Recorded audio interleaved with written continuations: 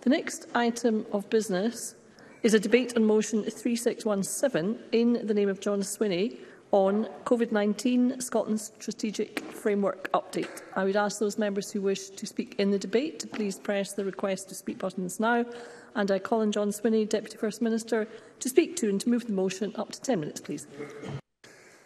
Thank you, President Officer. Today's debate delivers on the First Minister's commitment to seek the approval of Parliament for the Scottish Government's updated strategic framework, which we published on the 22nd of February. Earlier, the First Minister announced that from next Monday, the 21st of March, with one temporary precautionary exception, the remaining domestic legal measures will be lifted and replaced with appropriate guidance. We will be laying regulations to implement these changes in Parliament tomorrow. The requirement to wear face coverings on public transport and in certain indoor settings will be retained for a short further period due to the current spike in case numbers. This decision is consistent with our evidence-based approach to managing the pandemic. We will review it again in two weeks before the Easter recess, and our expectation now is that this regulation will convert into guidance in early April. President Officer, for this debate, I will set out the key strands of the new framework and explain what it will mean for our collective response to COVID-19 in the coming months and years. However, before I do that, I'm sure that colleagues on all sides of the Chamber will want to join me in offering our condolences to everyone in Scotland who has suffered a loss during this pandemic.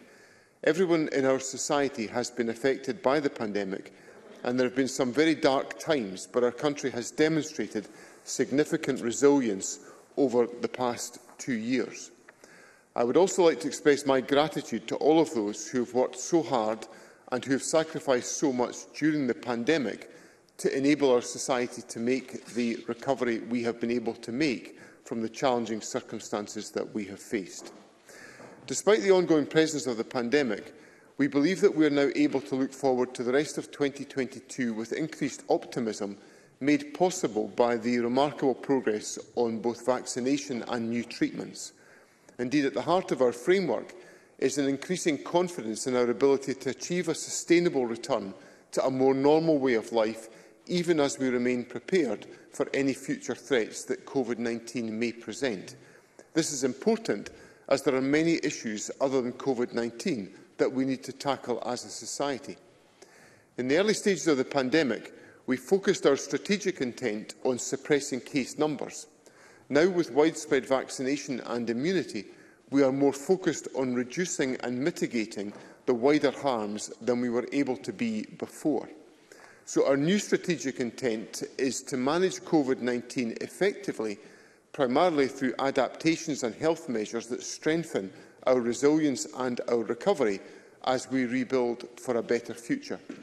It is, Of course. Mr. President. Grateful to the Deputy First Minister for giving way. He, mentioned earlier the announcement by the First Minister uh, this afternoon that the, requirement, the legal requirement to wear face masks would continue for some weeks.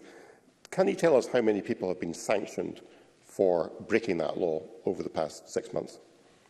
Deputy First Minister. I, I, I can't tell him that, but what I, I can say is that when one looks at the data that is indicated where there is a, a, a, a legal requirement for face coverings to be worn or um, a voluntary uh, approach to be taken. Uh, the difference in the numbers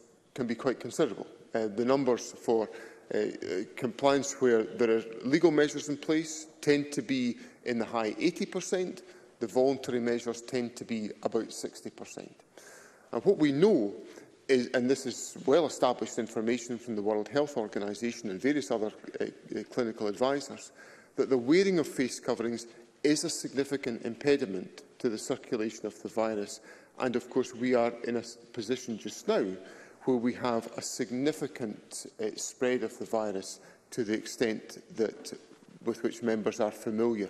So that is the rationale that has led the government to take the decision that we have taken today and which the First Minister set out to Parliament today. It is important as we look at um, adaptations and health measures to understand that we, in the approach that we now take in the strategic framework, is that this does not mean that we will allow the virus a free hand, regardless of the harm it might cause. Instead, it will help to ensure that our overall approach and any future use of protective measures, should we face a significant new threat, is, as always, proportionate and consistent with our broader purpose of protecting public health and creating a more successful, sustainable and inclusive Scotland. I want to make it clear that the Government will aim to convert the remaining domestic legal requirements for face coverings into guidance as soon as it is safe to do so. This will help us to promote good public health behaviours while retaining the ability to regulate in future should the public health situation require it. Despite this planned shift away from legal requirements, we will still need to manage COVID-19 effectively because the virus remains a threat. We are likely to continue to see outbreaks in Scotland over the coming years, and we can expect new variants to appear globally.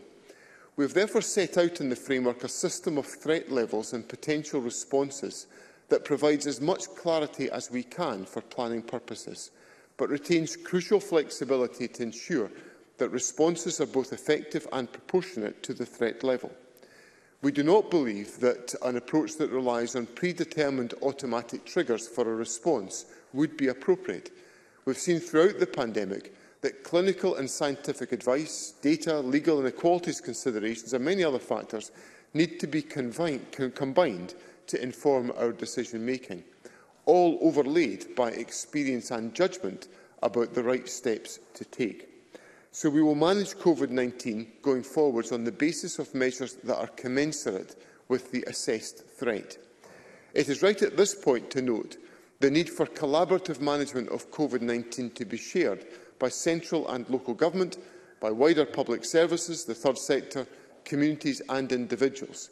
We have achieved remarkable levels of cooperation in managing the harms of the pandemic and this is essential for the management of the challenges that lie ahead. Uh, of course.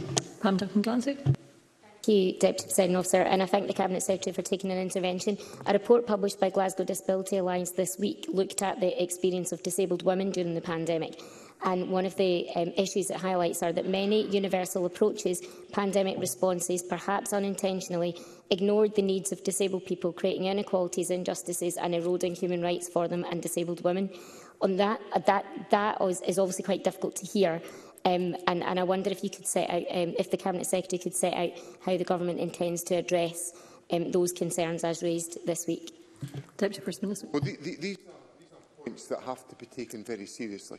And they, they indicate the challenge that is faced by policymakers and decision makers about dealing with a, a widespread uh, issue of public health emergency across the whole of our society, but enabling us to take uh, approaches that will specifically address the circumstances of individuals with disabilities, as Pam Duncan Glancy has put to me. So the identification of targeted and focused support to individuals is crucial uh, as part of a wider response to the management of the pandemic to address the given circumstances of individuals. And that's something which I think will be at the heart of the response that public authorities need to take forward to address the issues that Pam Duncan Glancy fairly puts to me.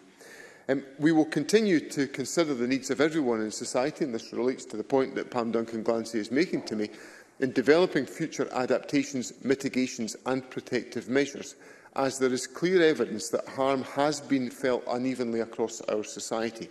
The Government has published separately, separately the detailed impact assessments that inform the content of this framework, and they will inform the decision-making that we take forward.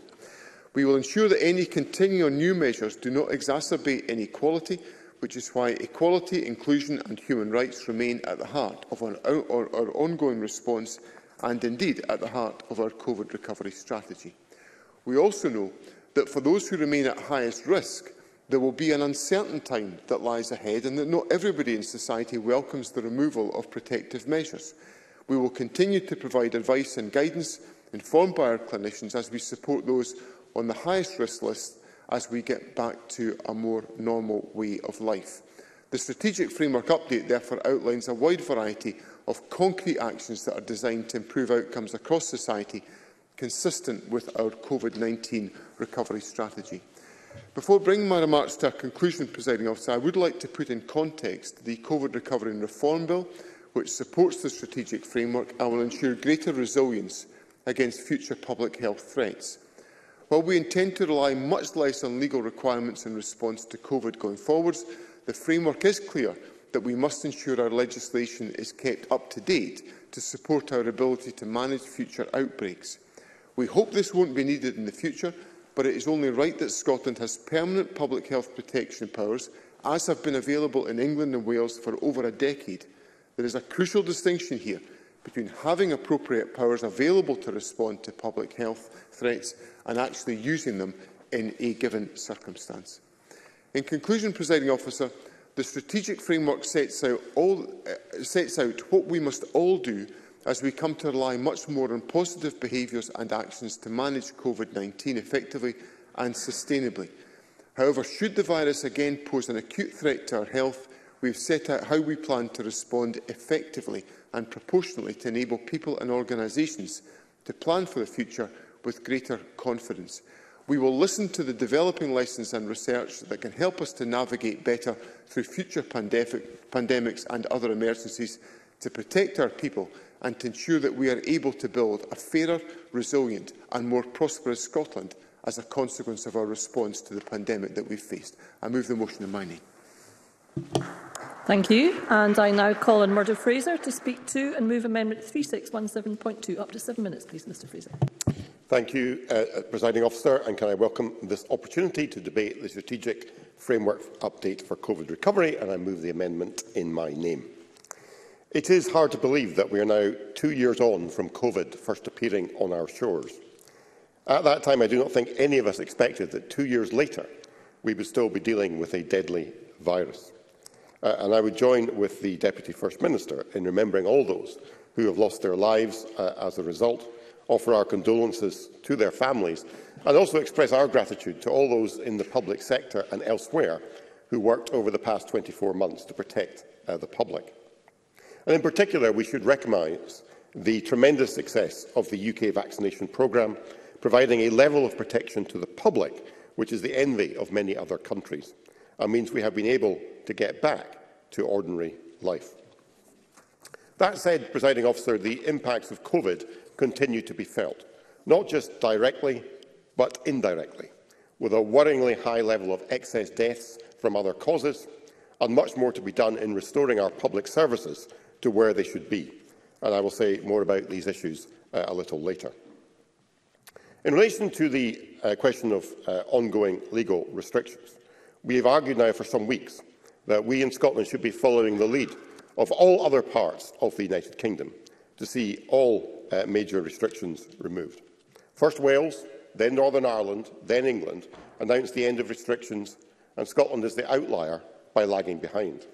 Today we were hoping that the First Minister might come to the Chamber to confirm that all legal restrictions, including uh, wearing face masks in certain settings, would be dropped uh, from Monday and she disappointed us by saying that that would be uh, extended by some weeks yet. Because we do know from all the evidence that has been produced that despite the fact that we have had stricter uh, restrictions here in Scotland and for longer than elsewhere in the UK, outcomes in terms of COVID infections and impacts have been virtually identical across all parts of the United Kingdom. Indeed, it is now more than six months since the legal requirement to wear face masks in public places was removed entirely in England, whilst that law has been maintained in Scotland. And yet the evidence tells us that the rate of COVID infection in Scotland has been at least as high as it has been in England throughout that period. Indeed, over the last few weeks, it has been substantially higher. Uh, let me just make this point and I'll, I'll give way.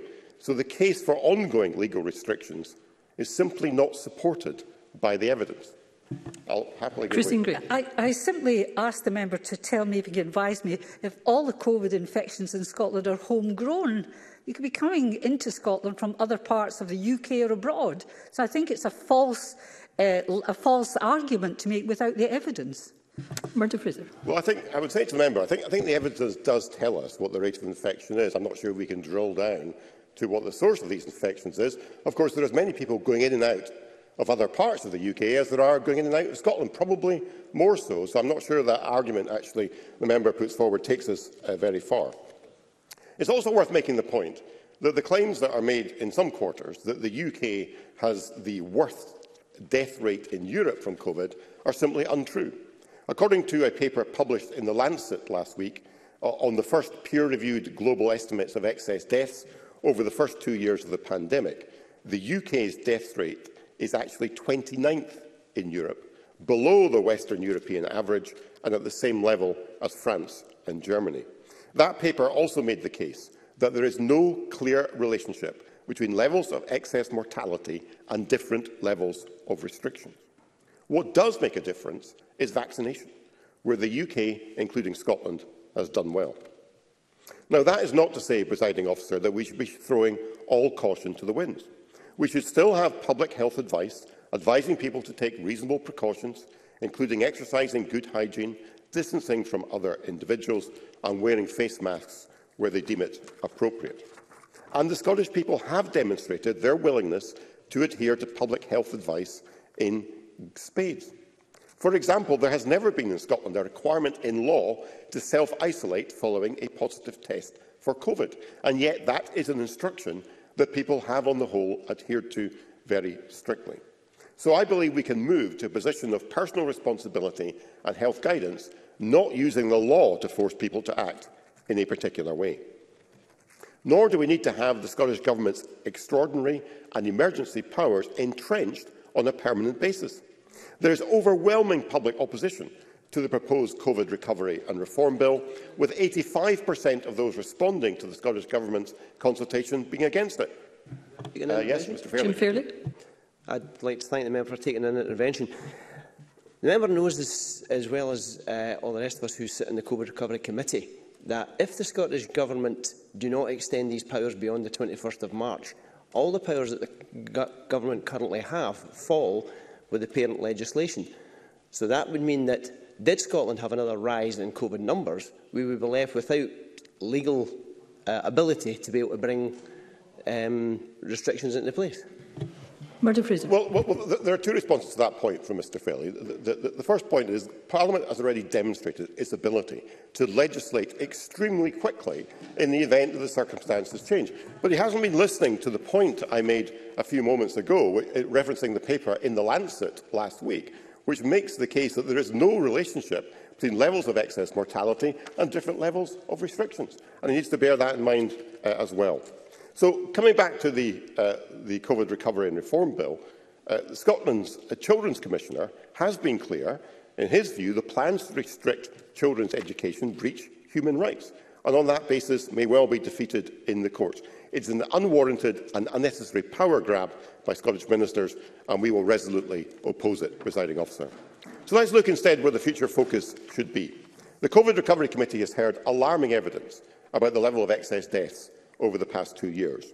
The Royal College of Emergency Medicine claimed that in 2021, 500 people died as a result of delays in admissions to hospital. That is 10 people per week dying because an ambulance does not turn up on time or because of delay in getting them from that ambulance into the emergency ward. And that statistic alone shows much more needs to be done to get our NHS back to where it is safe for all patients. And that's not taking account of all the undiagnosed cancer, 17,000 according to uh, evidence we heard in committee uh, last week, people uh, being diagnosed too late with potentially serious outcomes for them, and all the undiagnosed other conditions such as heart disease uh, and stroke. Uh, and already the NHS across Scotland is struggling to cope, and that problem is likely to get much worse. That's why an NHS recovery plan is so important, and in particular a workforce plan that focuses on training for the future enough doctors and nurses to replace, replace those currently retiring or leaving the professions. Presiding officer, there's much more that needs to be done, and my colleagues will highlight some of these points during the debate. COVID is not yet over, but it is time to move towards a new approach based on personal responsibility and not continued legal restrictions. Thank you. Thank you. I now call on Jackie Bailey to speak to and move Amendment 3617.1. Up to five minutes, please, Ms Bailey.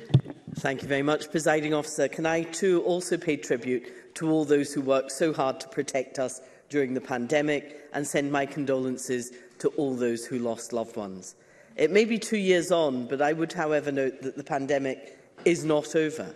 The latest strain of Omicron, BA2, is more infectious than previous strains, and that is demonstrated in the extraordinary rise in case numbers. Over the last four days, 38,770 positive cases reported, 1,996 in hospital. The increase in hospital cases is, I believe, the greatest single rise in 24 hours since the start of the pandemic. NHS Lanarkshire reports that its three hospitals are overflowing and the Queen Elizabeth University Hospital was on the brink of declaring a code black last Thursday. The pressure on the NHS remains intense and of course lots of staff are themselves off ill with COVID, causing further strain to the service. Whilst it goes without saying that we all support measures to control the virus and save lives, there are many lessons to learn now and for the future in our handling of COVID. That's why I do genuinely find the COVID-19 strategic framework a little disappointing. It appears to contain a number of reheated SNP promises and pledges, and it fails to give any of the real detail that the public and businesses need. And after almost two years of the pandemic, I am genuinely puzzled as to why the Scottish Government don't have a better idea of what should happen. The government say they want to help people and organisations manage COVID-19 effectively and sustainably. I could not agree with that sentiment more. But you need to have credible plans. And let me give you an example. If you want to improve air quality and ventilation in classrooms, organise HEPA filters, make sure the windows are not painted shut and don't chop the bottoms off classroom doors. A five-year-old could have told you that. The First Minister announced earlier that whole population testing, isolation and self-isolation payments end in April.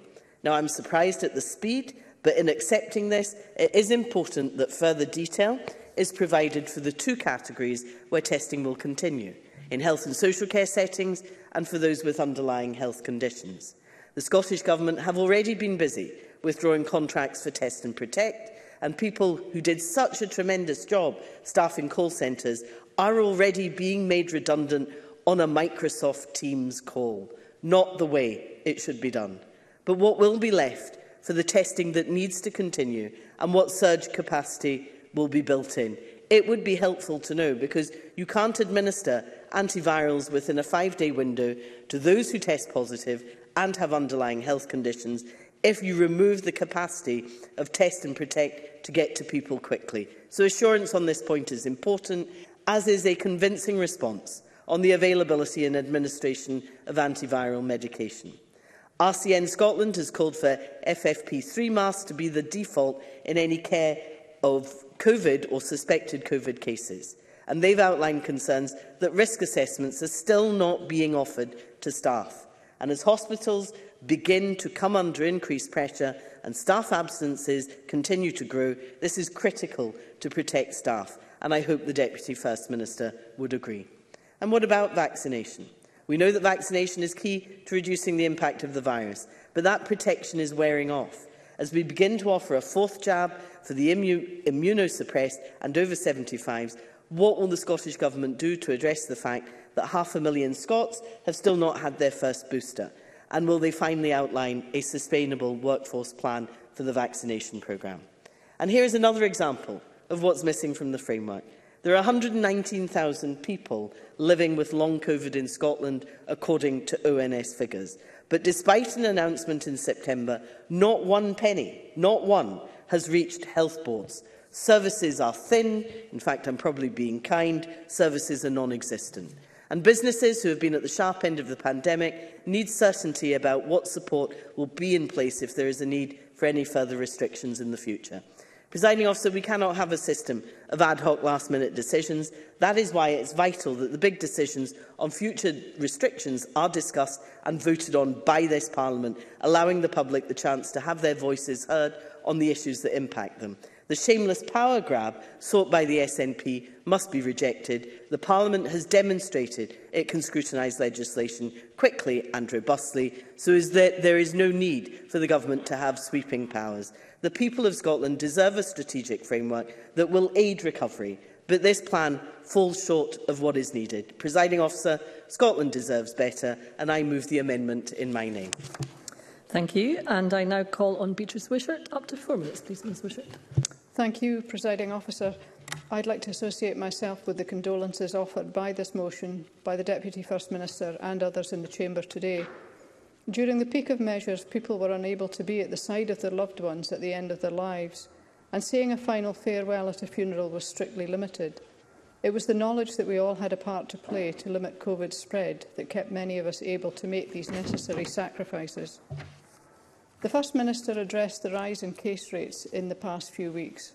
I note that face masks will be retained as a precaution for a short time and hope that this contributes to flattening the upward turn in cases. Legal requirements will become guidance, but we should all be mindful that COVID is still around and there are mitigations that we can take to limit the spread.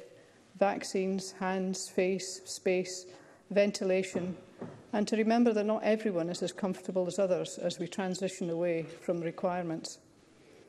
We've all just lived through a collective trauma and the ramifications are yet to be fully understood. I'm pleased that throughout the strategic framework, mental health is raised – addressing the long-term aftermath of COVID will be fluid and services must be just as flexible to adjust to this. Investment and expansion of child and adolescent mental health services, as laid out in the framework, are welcome as this is a commitment to accessible mental health support directly through doctors' surgeries. Scottish Liberal Democrats have been calling for this for many years as CAM's waiting lists were long even before the pandemic. Money to local authority partners to ensure every secondary school has access to counselling services is also welcome. Support in Mind Scotland points to the one million or so Scots living in rural, remote and island communities. The strategic update only mentions rural once, discussing scaling up new digital treatments and therapies to ensure that these are also accessible in rural areas. Mental health support and services should be accessible to everyone in rural and island Scotland and not just digitally. More needs to be done to build resilience in rural and island communities and provide accessible face-to-face -face services in the places where people live. Long COVID is also addressed in the framework.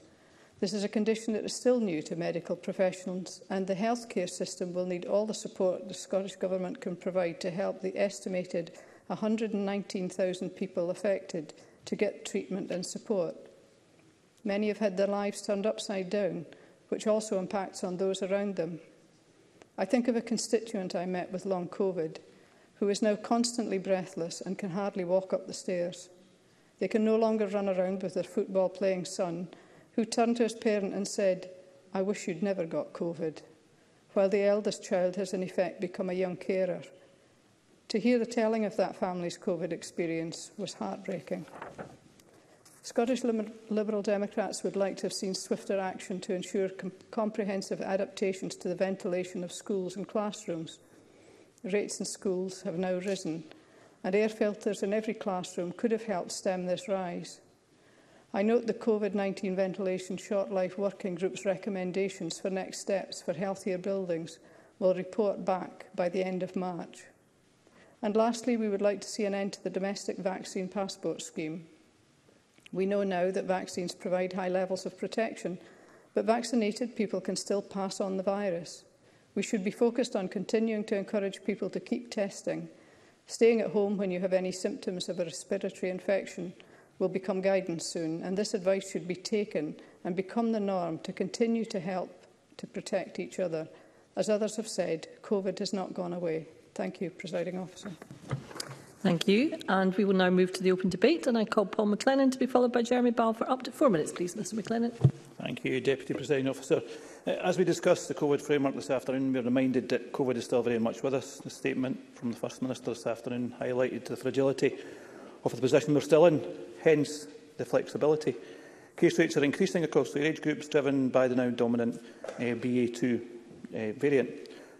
85% of cases now are thought to be of that, that variant. COVID is still a public health risk here and globally and is likely to remain so for the foreseeable future.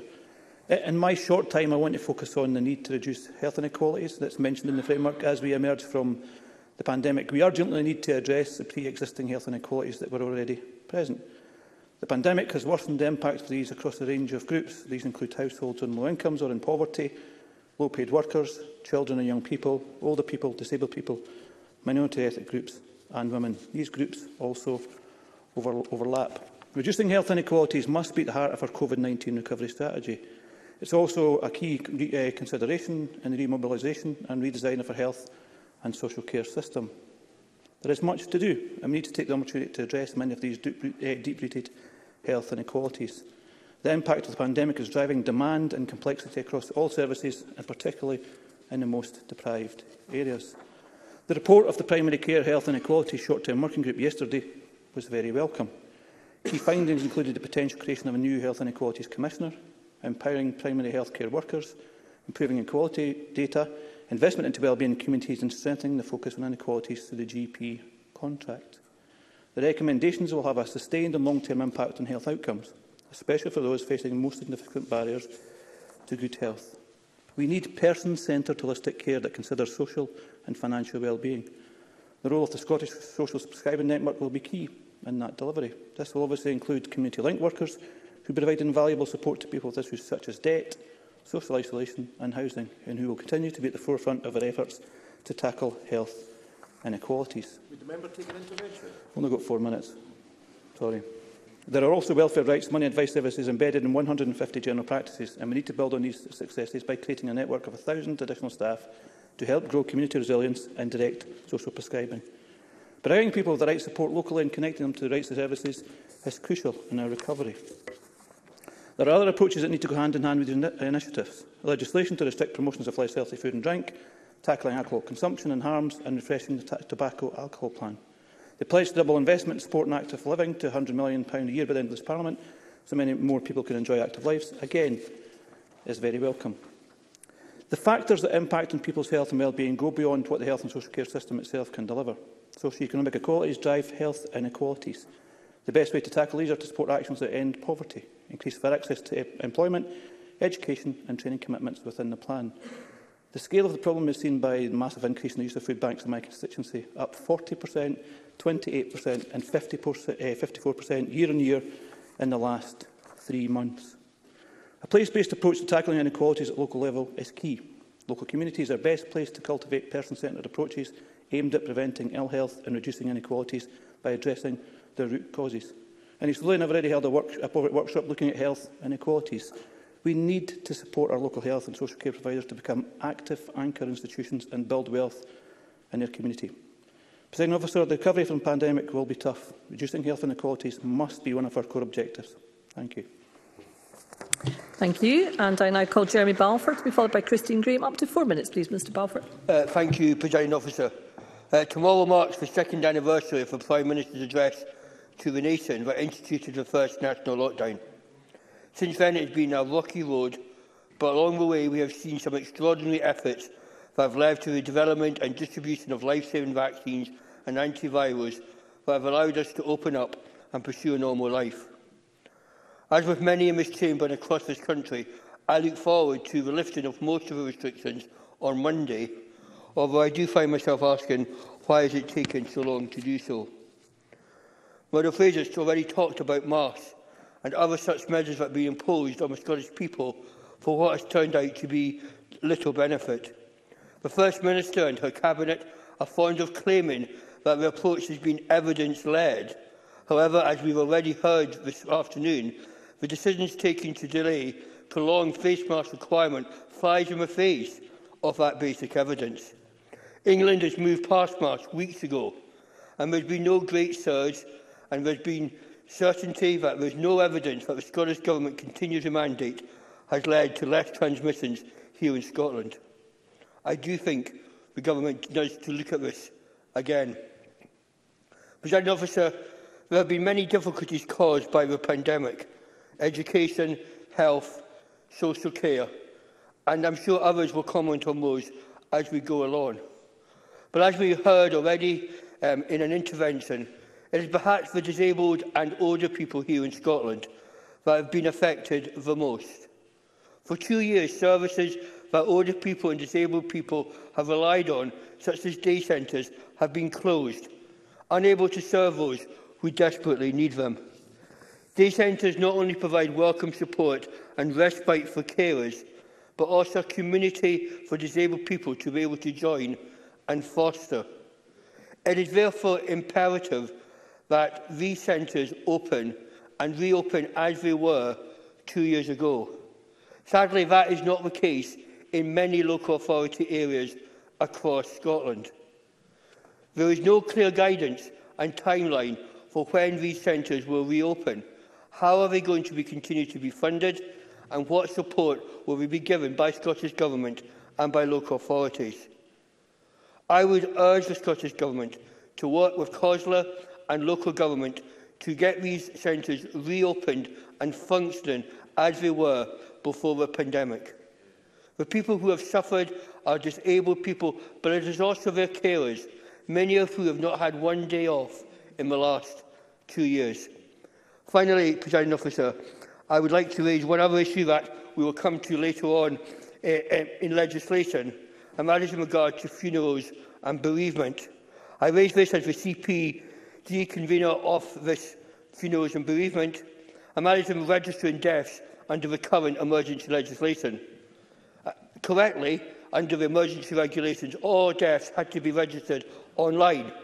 And for many within the industry, this was a welcomed uh, change and actually brought many benefits.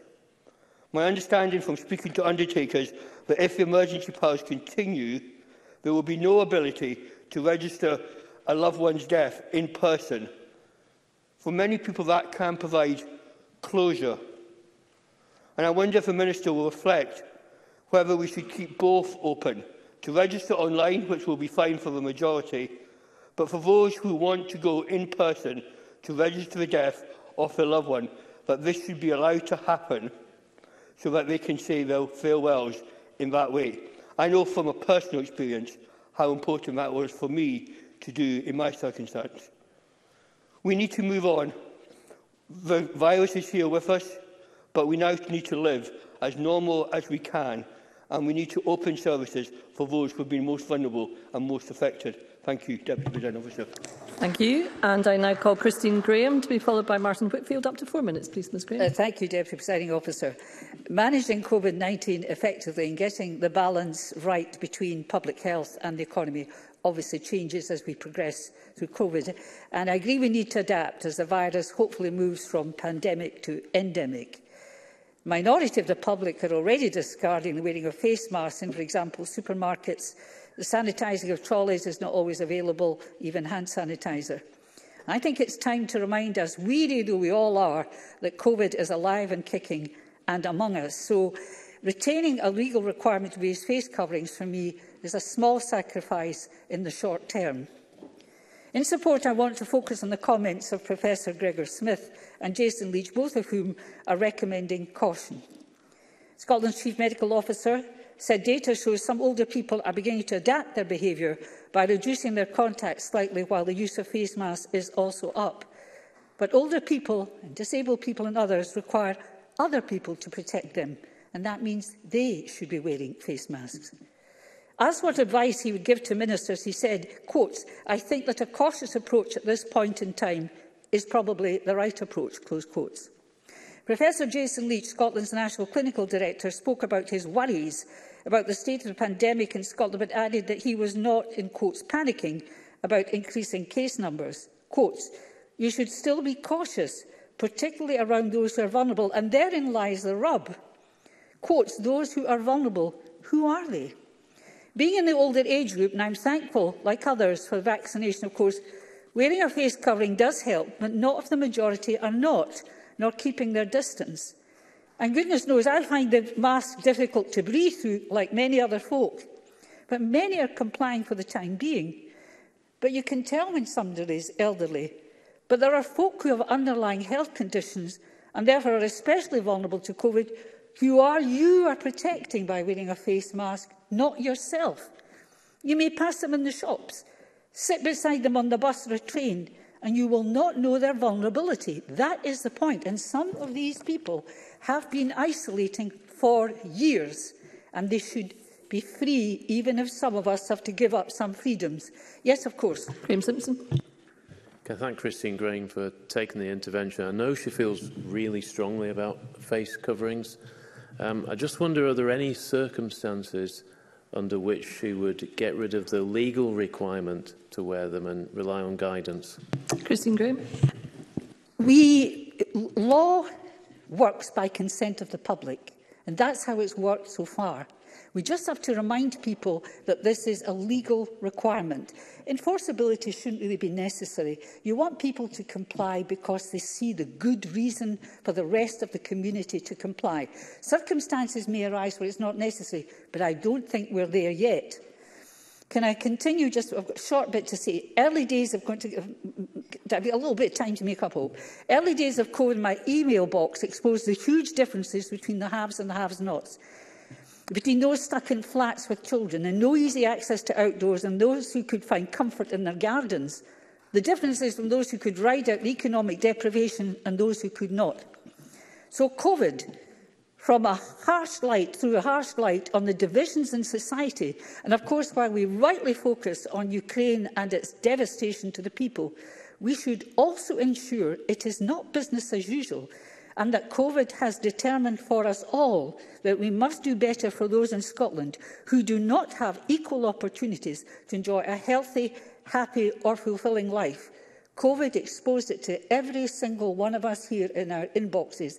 Let us remember on that. And while dealing with COVID, let's also deal with the inequalities it has exposed in our society. Thank you. Thank you. And I now call Martin Whitfield to be followed by Jim Fairley. Up to four minutes, please, Mr Whitfield. I'm very grateful, Deputy Presiding Officer, and it's a great pleasure to follow the very powerful speech of Christine Graham, and particularly reminding us about the inequalities that COVID has sh shone such a, a harsh light on, where I feel some people might have tried to ignore those in the past. And again, looking at the strategic framework, it is a long document, and as Jackie Bailey has said, presents a number of reheated SNP promises and commitments, but it is light on detail particularly in respect of those who are suffering from long COVID. There has been much talk, much promise of what this group of 119,000 people will get, but they've seen very little of it in reality. I would like to take the short time that I have to address the parts of the report that deals with schools, with the progress and with the future. And in the first part, to look at the comments in relation to um, Professor Muir's report, which we now have available to us. And I think it's enormously important that we address where this government is in agreement with the report and where it's only in broad agreement. So I'd reiterate my request from last week to ask when the government will bring a debate forward on this point. I'm also curious about the um, educational uh, buildings development proposals because within the report references made to the education recovery key actions and next steps which date back to October last year with strong discussion about the preparatory work for the school estate with regard to the influx of new technology hoped for from 2023 to 24 and I do find it disappointing that the framework doesn't contain provision for how we are going to improve the estate properly with regard to ventilation. With the emergence of COVID, there was the suggestion to open the windows and the doors, which was sensible because that was the only technology that was available at the time, if truly opening a window can be measured as technology. But then, with the discussion about HEP filters come in, but we're also at a period when we're looking forward to, hopefully, a rebuilding of our school estate. And ventilation should again take the important part in the design so that we can future-proof our schools for any future COVID or similar pandemic. But I would like to spend some time discussing a very important matter, which is with regard to ASN pupils, those who need additional support. This spring, and I would suggest we are into spring, we hopefully will see the updated additional support for learning action plan. And I would hope that um, the Deputy First Minister could say when that will be published in this spring to look at. Because if we look at statistics that have been published today, there are now 232,753 pupils in Scotland who are accorded the status of ASN, a pupil for whom to engage in mainstream education or beyond requires additional support tailored to their very specific needs. This is the largest figure that we have ever had in Scotland. And in some ways, that is understandable because of the growth of understanding and appreciation of what some of our young folk have in the challenges to confront themselves. However, what is disappointing is the number of additional support teachers that are available to help those young people. Back in 2008, it was 858. It is now 444 just in our primary schools. And the 357 high schools in this country are 120 teachers short now with additional support, additional experience. These are very vulnerable children who come from groups that have suffered greatly during this COVID. They are a group that suffered before COVID. They are a group that need our additional support to ensure that they can take a full and proper life as adults. Where is the real detail for those? Thank you, Deputy Presiding Officer. Thank you. And I now call Jim Fairley to be followed by Ross Cree. Up to four minutes, please, Mr Fairley. Uh, thank you, Presiding Officer. Life is what happens while you're busy making other plans. Um, John Lennon is famously quoted as saying that, and there is no one in the world now who doesn't fully understand the simplicity and power of that statement. Well, we were, what were we all planning to do on the 31st of December 2019 when the WHO was informed of a cluster of cases of pneumonia of unknown cause detected in Wuhan city. I doubt if any but very few had planned at that time for the unfolding of events that we have all been lucky enough to live through. And I say lucky enough to live through because, as we know, so many others have not been so lucky. And it's on that point I'm happy to associate myself with my colleague Christine Graham and her caution. Because losing someone itself is painfully hard to bear. But the pain of losing someone was compounded by the need to isolate, not being able to be with the loved ones at the end, and of course the inability to do that most human of things, to mourn a loss collectively, to grieve together, to share memories, to laugh, to cry, to hug, and to help each other through those painful, difficult days. All of those things were taken away from us by a virus we couldn't see, hear or smell. Not knowing where your enemy is or what it looks like was part of the most terrifying bit of all of this. We've also lost the big ticket occasions. No one turns 18 twice or is born twice. And our way to celebrate the big life events have been curtailed massively, emphasising Mr Lennon's prophetic simple statement. It has been a hellish few years for those reasons and more. Businesses and livelihoods have been lost and people have quite simply had to reassess where their life is going and many are still trying to work that out. But we are here in large part thanks to the amazing efforts of those people who, walked across, who worked across our vital sectors trying to keep the wheels on the bus and those ingenious folk who developed the vaccinations which have slowly but surely started to give us our freedoms back. We are all due them an enormous debt of gratitude. But we are still going to encounter new variants, and the danger that they pose will have to be monitored very closely so that we can react with the pace and efficiency that we need to. And at this point, I'd like to pay tribute to the ordinary, everyday people of this country for their forbearance and fortitude in accepting these restrictions on their lives and for getting their sleeves rolled up and getting those vaccines into their arms. That collective spirit of working as one for the greater good of us all is in large part why we are at this milestone today of a positive outlook for our future. And I believe that the Scottish Government's leadership through the pandemic, its integrity of messaging and honesty stands in the comparison to that of any other country in the world and indeed is better than some. There is no doubt that mistakes were made, but they were mistakes made in good faith and with the best of intentions and with hindsight being in zero supply. And I welcome the Scottish Government's new strategic framework, which was published last month. It's measured, it's appropriate, and it shows a clear route towards resuming life to as close to pre-COVID levels as possible. Many of the temporary measures have already, have already been removed by the Scottish Government, but if the experience of COVID has taught us anything, it is that we need to be able to respond quickly and nimbly to whatever the threats may face us in the future. So to conclude, Presiding Officer, as it says in the Executive Summary of the Framework document, we know that while securing stability is crucial, the future path of the pandemic is uncertain and that the threat of new, potentially more harm or harmful variants remains. We must therefore remain vigilant and ready to respond in a proportionate manner to any future threats in order to mitigate the harm that they might otherwise cause. That's a sensible approach that we should all support. Thank you. Thank you. And I now call Ross Greer to be followed by Siobhan Brown. Up to four minutes, please, Mr Greer. Thank you, Presiding Officer. This afternoon's update from the First Minister and the daily case rate data in recent days is a grim reminder that the pandemic is certainly far from over. The Government's strategic framework recognises that many of the restrictions that we saw in previous phases, though, should now be avoidable. We obviously can't say with certainty what characteristics future variants will take, so it would be irresponsible to rule out specific measures for all time. But the combination of what we've now learnt about the virus, the treatments which have been developed to support those suffering from it, and the success of the vaccination programme put us in a very different place to where we were in 2020 and 2021. That being said, I do want to question some of the claims made recently about why this is the point at which to base our response solely on the exercise of individual responsibility rather than collective measures. We recognise that our individual health and safety is not dictated by our own actions alone, but rather by a combination of ours and those around us. That's hardly unique to COVID. Every adult in Scotland has the individual right to smoke if they want to, but they don't have the right to do that in an indoor public space because of the harm it does to others. As an example, on the train that I got in this morning, I was sat opposite an individual who was not wearing a face mask, and I choose to believe the, the best in people, so I'm sure they had a legitimate reason for doing so, but this individual clearly has a very frustrating uh, job. Certainly the work they were doing on their laptop was obviously frustrating them because throughout the journey they were repeatedly exhaling very deeply uh, in frustration at whatever they were working on. It was like sitting opposite an office fan.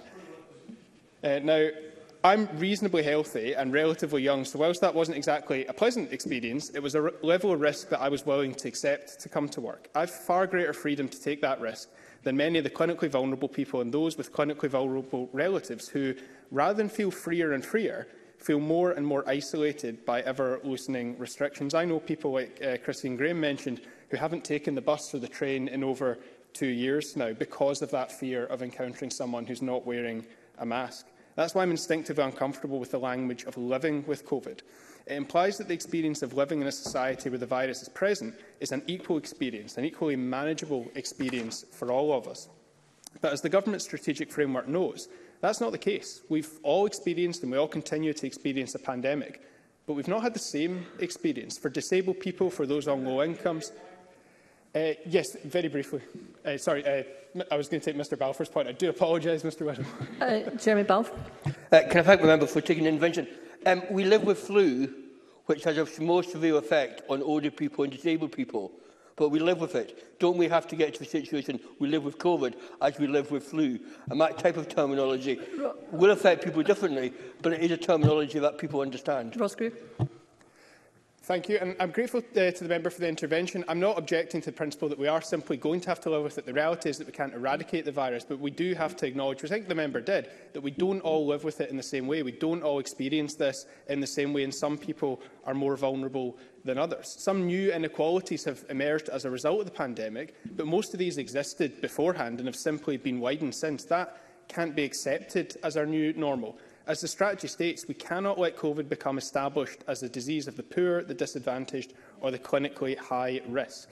The strategic framework is a relatively high-level document and not the place for all the details on exactly how we turn that very agreeable sentiment into reality, but there is a need for further detail on what a society living with COVID but rightly unwilling to live with increased inequality and marginalisation looks like. We're hardly in a unique situation there, so there's plenty of best practice to draw on from elsewhere Before closing, I want to very briefly touch on the effect of frontline, uh, on frontline healthcare staff of the rhetoric around the pandemic being over and the push to get rid of all restrictions without delay. We all know hospital and care home staff uh, uh whose staff are on their knees. I know of one hospital ward who, uh, who treating almost exclusively COVID patients who have seen six nurses hand in their notice in the last six weeks, not to take up positions in other wards. They'd simply reached their breaking point. And we need to acknowledge the effect that all of the discussions that we have on the healthcare workers who are still under vast amounts of pressure.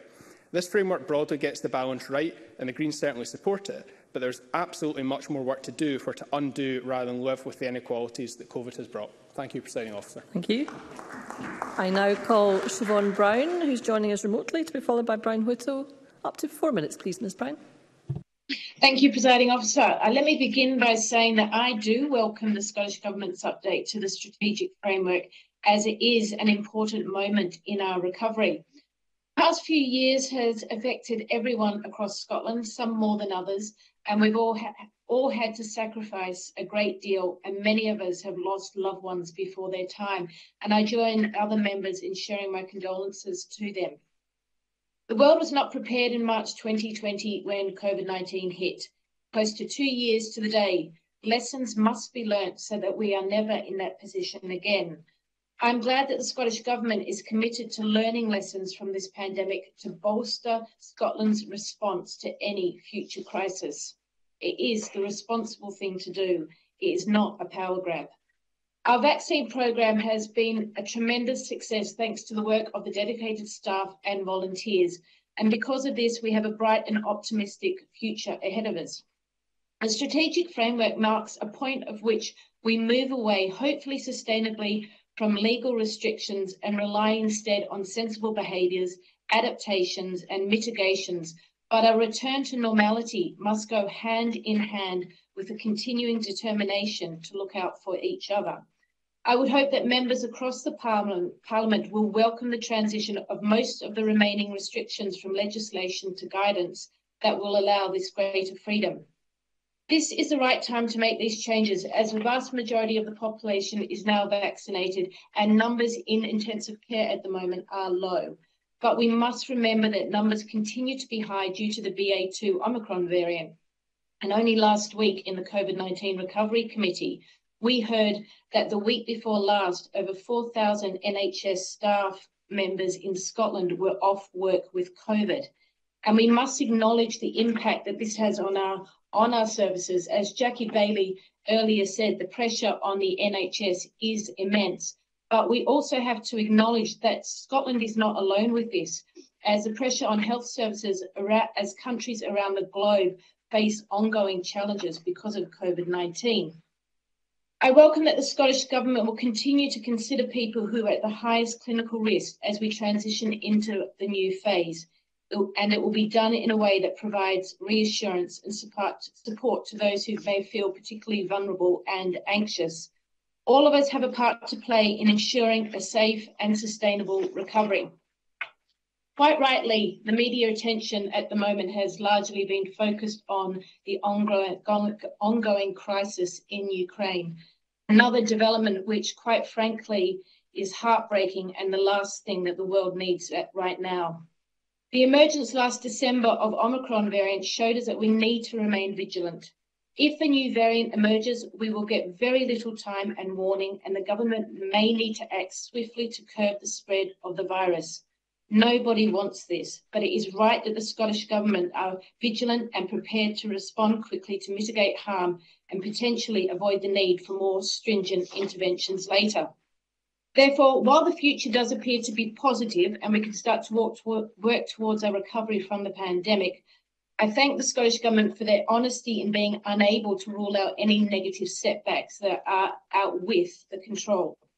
What politician doesn't want a crystal ball? But the published strategic framework, framework does provide as much clarity as possible.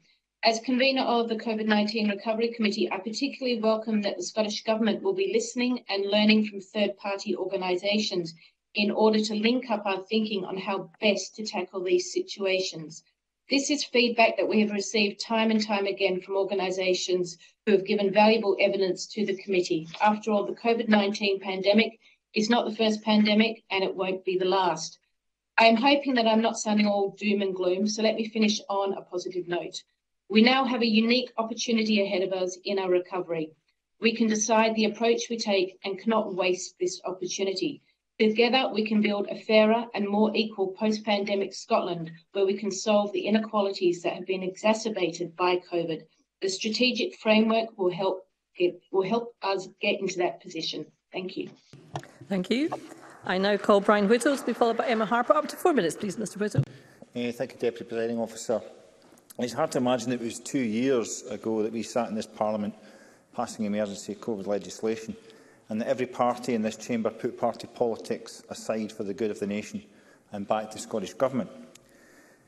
At that point, we had watched as COVID made its way across the world from China. We watched as it devastated countries like Italy, And we were getting an idea that the most vulnerable to this virus would be the elderly and infirm, as well as those with an underlying health condition. Still, when it got here, we were unprepared for what was to come. Presiding officer, I want to stress here that if emergency powers had been available to the Scottish Government at that time, it would have made absolutely no difference at all to what the response was, which is why I think the Scottish Government's plan to make emergency powers permanent bypassing Parliament scrutiny is not based on a need, and it is actually a power grab. After all, when asked, this Parliament passed emergency legislation in no time at all. Yes, of course it will. Martin Whitfield. Grateful to Brian Whittle giving way. Does he not also agree, though, that the way that the Parliament operates now is in a far better position to pass emergency legislation almost at the drop of the hat with the hardware that we have in place now, which wasn't available two years ago. Brian Whistle. Uh, absolutely, I would agree with that. And, and given that we passed emergency legislation so quickly the last time, now it, it, uh, when even, when we can do it even quicker now. I think in asking and receiving the backing of, uh, of Parliament to take on emergency powers, the Scottish Government also took on a responsibility to be open and transparent with Parliament on what actions were taken and sharing evidence to back those decisions. This is where I think the Scottish Government did fall down. It was almost as though they thought that being scrutinised for the decisions was beneath them, and it's where the most of the subsequent discourse between the Scottish Government and Parliament has arisen. Now, mistakes have been made by every government in every part of the world. When one country seemed to be doing better than us, all of a sudden it was their approach that was better and we must follow them. Then another country was the front runner and the jump to their approach was the way to go. The truth is, I think, that nobody had the right answers and every government response was in the main reactionary and dependent on an analysis of their version of experts. What can be in no doubt, though, is the importance of, of the substantial financial support from the UK Treasury that supported businesses and jobs in the UK and the rollout of the UK vaccination programme. They were the real game changers that have allowed us to get to the place we are now, with most restrictions revoked and our economy mainly intact and quickly recovering. Presiding officer, being wise after the fact is an easy road to take, but the investigation into the approaches taken, if done impartially and thoroughly, can help us develop a strategy for any future health emergency. We should be, for example, be looking at the, the level of PPE retained at any one time, of our ability to shield the vulnerable, and uh, it should be scrutinised and planned for. And let's not forget the decision to move COVID-positive patients into care homes and the devastation that caused if we are smart and invest in our ability to gather and analyse big data, we can really learn so much from our response to this pandemic. Our ability to gather and share data has always been a problem. We've always been behind the curve in Scotland. It was often discussed in the Health and Sports Committee last term. COVID has just shone a light on the importance of an IT system that can be used to gather and share data. And I think that investment is long overdue. But more than that, Presiding Officer, we have an opportunity here to reset how we view health We know that over 60% of those lost to COVID were obese. We know that approximately a third were diabetic and all the other comorbidity issues that contributed to COVID being so prevalent on death certificates. We know that these conditions are more likely to appear in lower SIMD areas, the same areas where COVID deaths are highest. Presenting of Scotland is the unhealthiest country in Europe and has been throughout the SNP tenure and before. Surely, as part of our preparedness for future health emergencies, the preventative health agenda at long last needs to be addressed. In fact, what COVID has done is shine a light on the health issues Scotland has faced for decades. That is where the SNP government's focus should be, and definitely not on trying to bypass Parliament by unnecessarily retaining emergency powers. Presiding officer. Thank you. And I now call Emma Harper, who will be the last speaker in the open debate. Up to four minutes, please, Ms Harper. Thank you, Presiding Officer. I welcome the opportunity to speak in this debate and I welcome Scotland's strategic COVID-19 framework update. And just as I start, presiding officer, I want to be crystal clear that COVID-19 is still with us, and we heard that from the First Minister earlier today.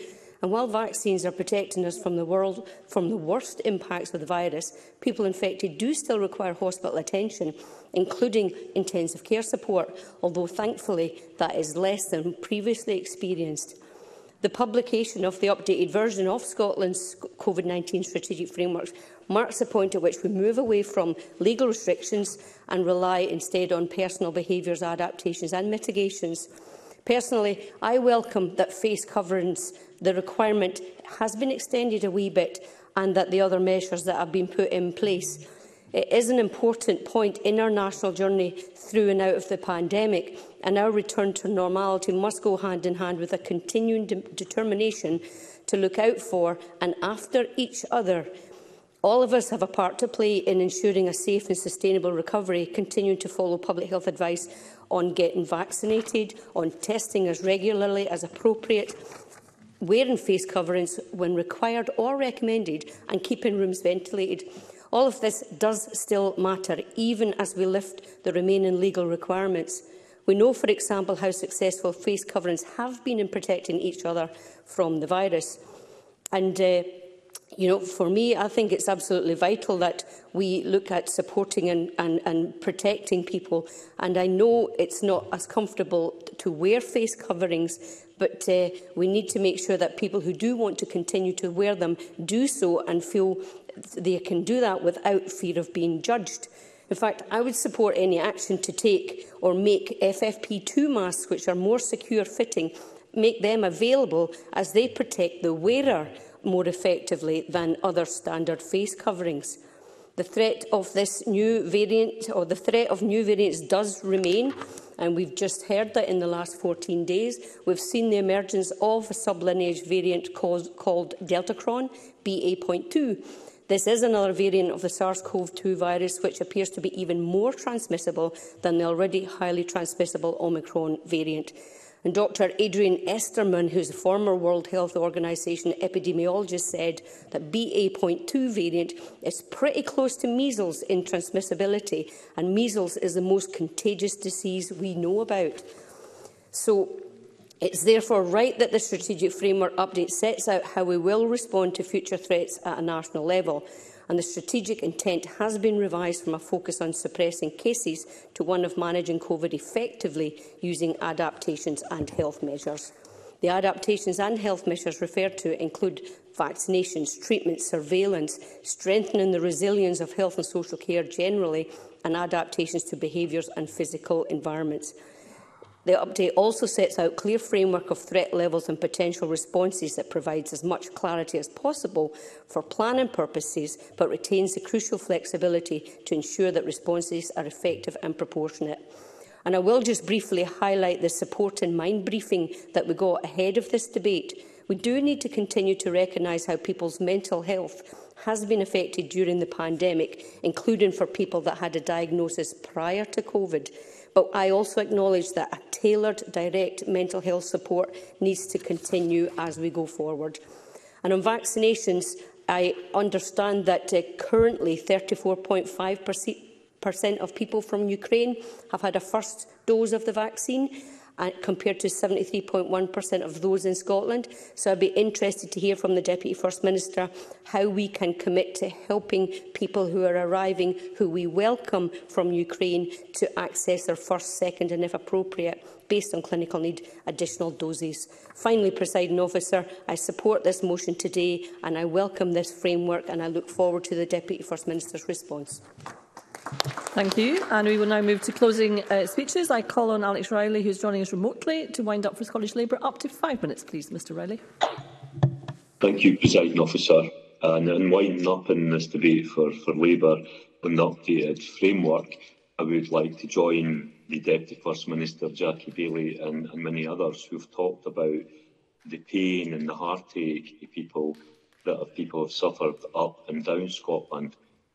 and our condolences to everyone who's lost a loved one, lost a friend, but also to recognise that for many people they are still struggling and still need support, whether that be mental health support or financial and, and other support.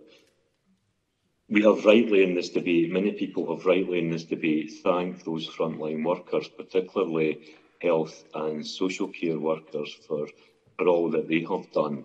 But as Jackie Bailey pointed out, the pressure on our hospital staff right now is immense.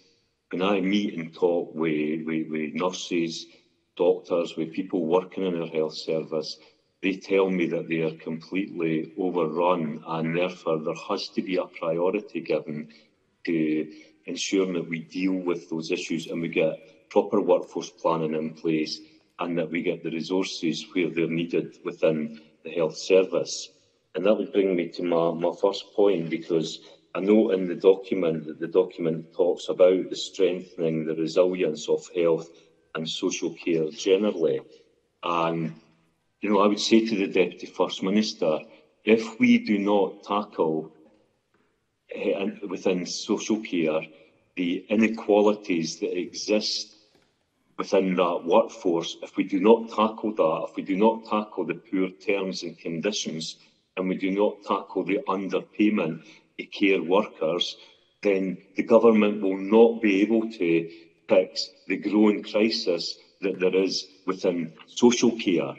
So words is one thing, but action in health and social care is what we need for this government, and they must act on that. It, it disturbs me that, that is being put into social care that we're talking about a review social care and the problem, the main problem that is that is sticking out as to why we have a recruitment and retention issue is the underfunding and the unfair treatment of social care workers. So that has to be tackled if we are going to tackle social care.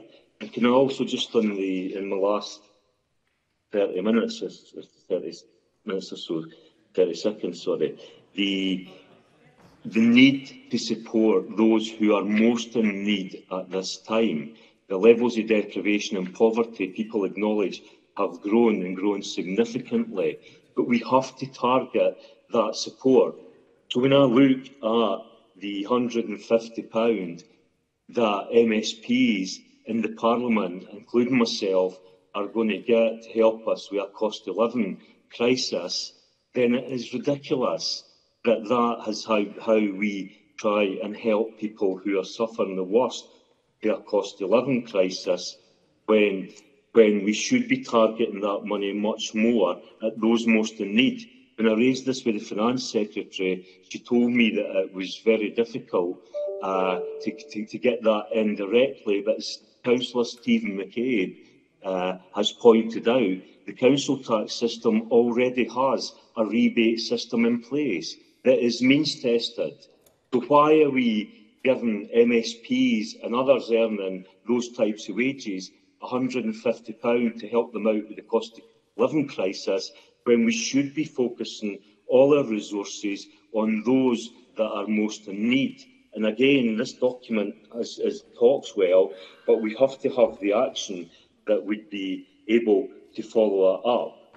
In general, I think most people in Scotland will recognise that, that the extension of the face coverings is the correct thing to do. Um, and for a few more weeks, given what we've, what we've come through, then as people have pointed out, the virus is still out there and is still rising. You know, I think everybody knows somebody who has COVID, but we have to be cautious And with that, I support. And I would just leave it at that, presiding officer. Thank you, Mr Rowley. And I now call on Sandish Gohani to wind up for the Scottish Conservatives. Up to six minutes, please. Thank you. The Scottish Government's motion is 236 words long and we back 112 of them. Our condolences go out to all those who lost loved ones during the pandemic. We salute those who work so hard to keep our vital services going And let's make no mistake about it, they're still working hard today. The vaccine programme has been a huge British success story. And going forward, governments at all levels, public services, charities, businesses and communities need to work together to manage COVID-19 and its variants.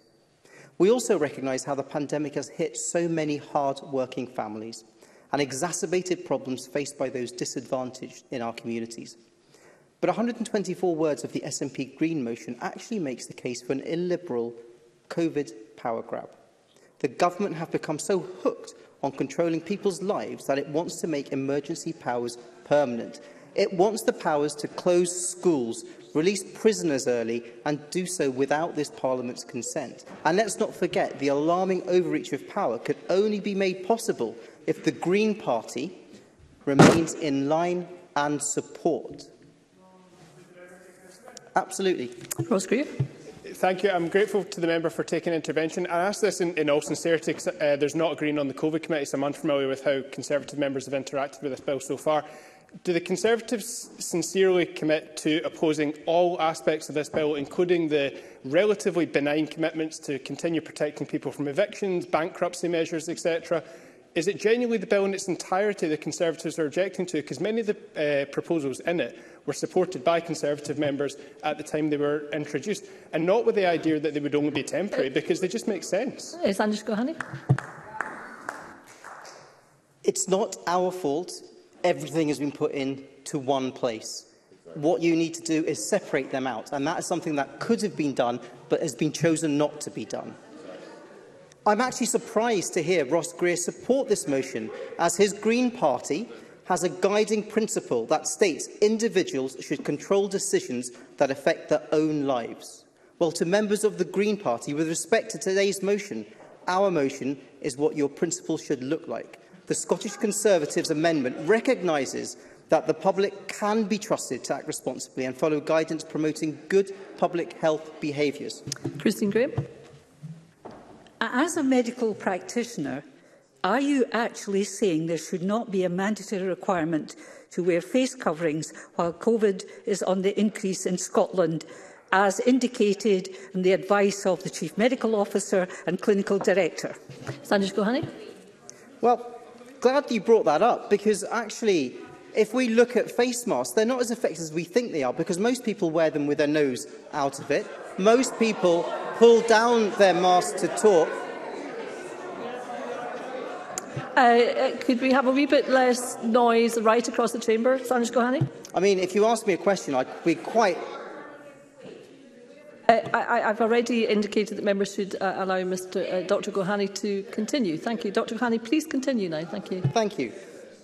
The masks I see everyone wearing here and in public should not really be reworn once a journey is completed. Plus, 56% of people reuse single masks and 34% wear reusable masks over four times before washing them.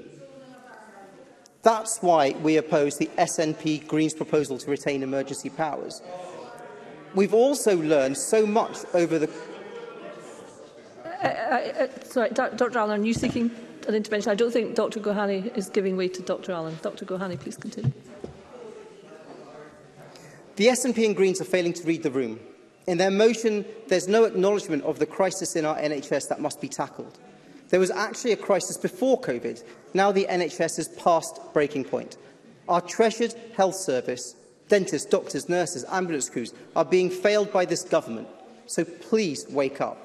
And then there's education, another example of shambolic SNP stewardship.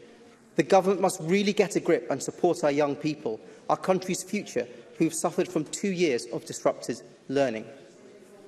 I can't really fathom why governments left healthcare and schooling out of their motion, why no statement of intent, why only a call for more power, more control.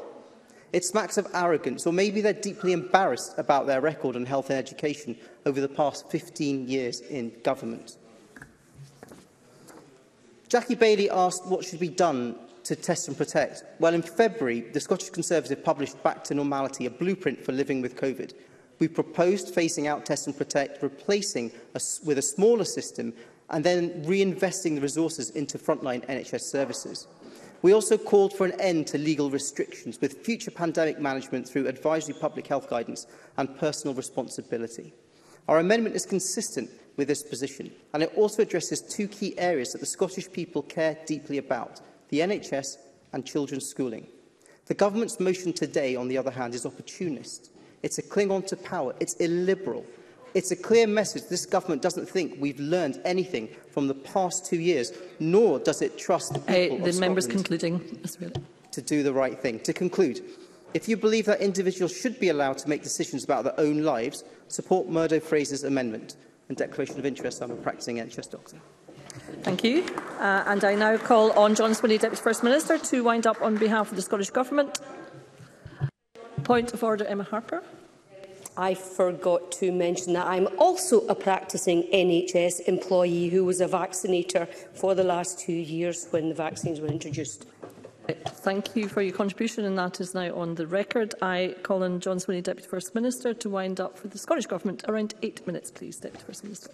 Thank you, Presiding Officer. Uh, at the, uh, in the early contributions to the debate, uh, Beatrice Wishart talked about the fact that legal requirements will become guidance, but COVID is still very much around and that not everyone will be comfortable with the relaxation of restrictions. And I think in that one sentence, Beatrice Wishart summed up, I think, the reality of some of the dilemmas that exist here, dilemmas that are studiously ignored by the contributions made by the Conservative members, that there are members of our society who are profoundly uneasy about the circumstances that they are now faced. These were points also made by my dear and respected colleague Christine Graham about the, the, the, the situation that people who have vulnerabil vulnerabilities, who are anxious about re-emerging into society, actually face. And I think the casual dismissal of these points by Conservative members today or the very aggressive dismissal of these concerns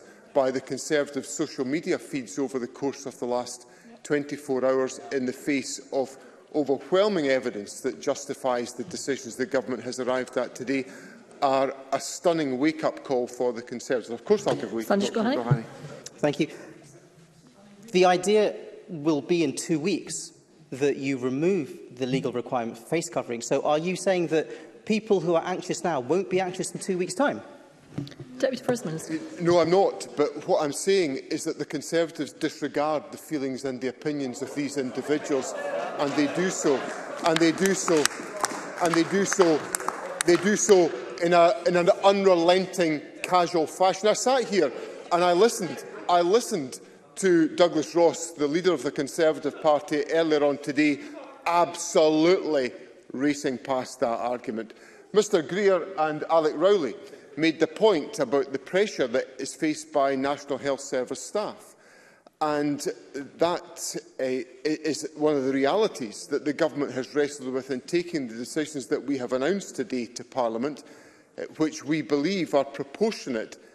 given the scale of the challenges that we face. Now, a number of points have been made in the debate today that I want to address particularly, and I think not for the first time. Murdo Fraser um, overstated the case that he makes to Parliament, uh, and particularly in two respects. The first is in relation to the effect of precautionary measures that the Scottish Government has taken.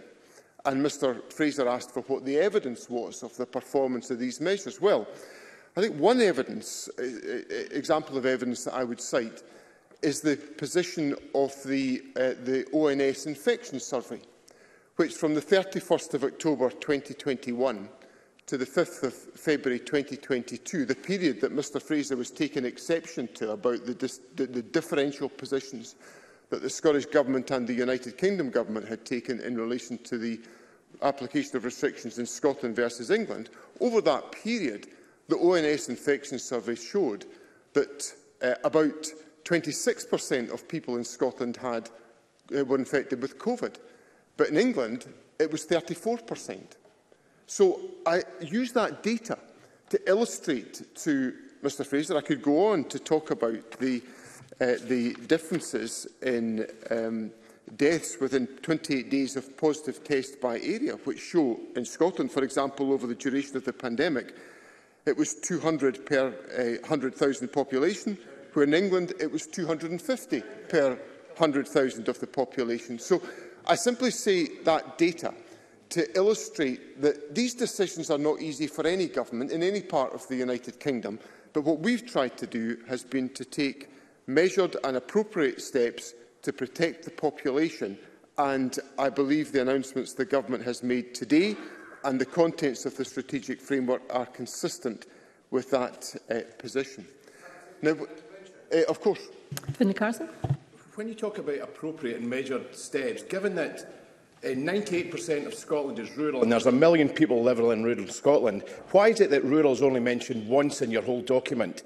And it only suggests that those with mental health should have uh, uh, access to digital treatments. So do you believe that everyone should be supported no matter where they live, or do you think people with mental health in rural areas should get less support and services than everybody else in Scotland? I'm I, I, I, producing a strategic framework that is relevant and appropriate for every citizen of our country, regardless of where they live, and I'm proud to represent it. I'm proud to represent a rural area in this Parliament and to take no license from Finlay Carson about how to represent rural Scotland in my opinion. Now, the second bit where Murdo Fraser overstates his case is in relation to the COVID Recovery and Reform Bill. And it, eh, of course, he was echoed by numerous others, Mr Whittle, into the bargain. Um, and let me, eh, just for the sake of clarity, uh, reassure Mr Balfour that the issue that he raised about the registration of deaths being able to be undertaken in person, the bill provides for that to be the case. So that removes one reason why Mr Balfour can be opposed to the bill, so I look forward to his support for the bill as a consequence of directly addressing the issue about which he was concerned. But one of the familiar points that is raised with us is about the importance of learning the lessons from things. And what the government is doing is learning the lessons of the pandemic that we want to ensure the, the Parliament, the country, has in place law that enables us to react as quickly as we need to react to the challenges that we may face. Because we've all agreed, everybody has accepted that COVID is still around. It may reappear in much greater virulence than has been the case, and we have to have the legislative arrangements in place to deal with that. Now, on any other day, the Conservatives would be coming here saying to us, you should have learned lessons, you should have prepared the statute book for all of this, And here we now find ourselves preparing our statute book for all of this, not for the government to have automatic powers, powers that will only be able to be used with parliamentary consent and with appropriate evidence of the gravity of the situation provided by the Chief Medical Officer. So some of the language that we've had from the Conservatives today is completely over a uh, spot for choice between Mr Fraser and Mr Whittle. But since I've mentioned Mr Fraser, I will give way. Brendan Fraser. I'm very grateful to the Deputy First Minister for giving way. On the point he's just made about parliamentary consent, is he therefore now ruling out what is in the bill, which is the use of the made affirmative procedure, which is laws coming into place without Parliament considering them first? Deputy First Minister. Mr Fraser deploys, for all the years he's been here, he's deployed the most appalling ignorance of parliamentary procedure. Yeah. The made affirmative procedure is an accepted statutory mechanism that involves parliamentary scrutiny, so there is no bypassing of Parliament whatsoever involved in the government's legislation. And really, if we are at this stage, presiding officer, where I am having to lecture Mr Fraser on elementary parliamentary procedure, no wonder the Conservatives are in the sorry state of affairs that they are in. So Presiding officer, the Scottish Government is taking the necessary and proportionate steps to respond to the challenges that we face. We have done that throughout the pandemic. I am profoundly grateful to members of the public for the way in which they have supported the measures the Government has taken forward, the way they have embraced those measures and the way they have acted responsibly to protect other members of our society. And the Government intends to provide the leadership to enable that to continue in the period to come. Thank you, Deputy First Minister. And that concludes the debate on COVID-19 Scotland's strategic framework update. And it is now time to move on to the next item of business. The next item of business is consideration of Business Motion 3638 in the name of George Adam on behalf of the Parliamentary Bureau on changes to this week's business. Any member who wishes to speak against the motion should press the request to speak button now. And I call on George Adam, Minister, to move the motion. Thank you, President Officer. And moved. No member has asked to speak against the motion. Therefore, the question is that motion 3638 be agreed. Are we all agreed? Yes. The motion is therefore agreed. There are four questions to be put as a result of today's business. The first question is that motion 3597 in the name of Joe Fitzpatrick on behalf of the Equalities, Human Rights and Civil Justice Committee on ending conversion practices be agreed. Are we all agreed? Yes. Are we all agreed? Yes. The Parliament is therefore agreed and the motion is therefore agreed. The next question uh, uh, I will now move to and would point out that to members that if the amendment in the name of Murdo Fraser is agreed to, the amendment in the name of Jackie Bailey will fall. So the next question is that Amendment 3617.2 in the name of Murdo Fraser, which seeks to amend Motion 3617 in the name of John Swinney on COVID-19 Scotland's Strategic Framework Update be agreed. Are we all agreed? No. We are not agreed and therefore there will be a division and there will be a short suspension to allow members to access the digital voting system.